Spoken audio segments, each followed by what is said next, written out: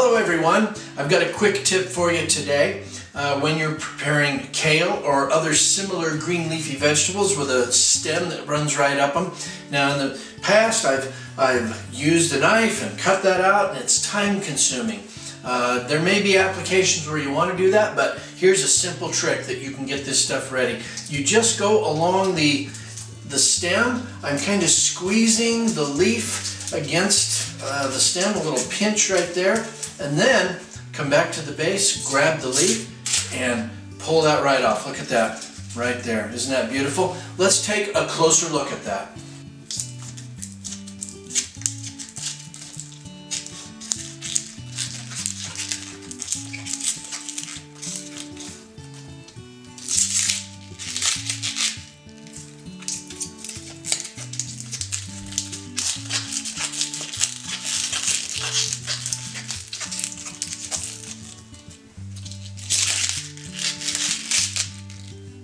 Now wasn't that easy?